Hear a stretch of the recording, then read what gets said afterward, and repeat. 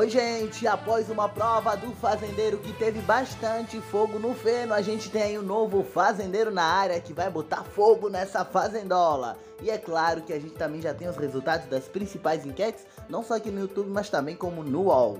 E olha, tá de surpreender. Falando em surpreender, surpreenda agora já deixando o like nesse vídeo e se inscrevendo aqui no nosso canal, afinal aqui a gente fala da Fazenda 12, 24 horas de plantão.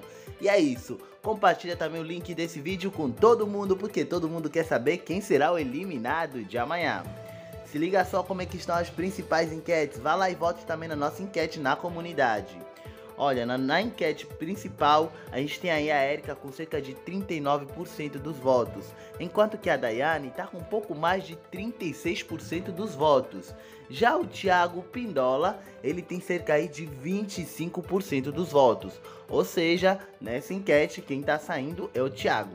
A gente agora vai ver a enquete do UOL para ter uma noção de como é que tá lá. No UOL, a Erika tem cerca aí de 38% dos votos. Já a Daiane tem cerca aí de 37%. E Thiago, pouco mais de 26% dos votos. Com esses resultados, tá praticamente empatado e nada decidido. Será que essa roça vai ser com emoção? Será que Thiago, que é considerado planta pela casa, vai conseguir voltar e talvez colocar fogo no parquinho na casa? Isso tudo e muito mais a gente vai acompanhar para ver isso tudo de perto e mais enquetes virão.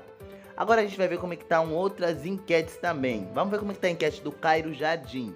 Lá, olha aí, Érica tem pouco mais de 40% dos votos. Já a Daiane, 28%, enquanto que Thiago tem pouco mais aí de 23% dos votos. Quem você quer que fique na fazenda? Comente, compartilha e fique ligado no nosso canal. Eu vou ficando por aqui, galera. Fui!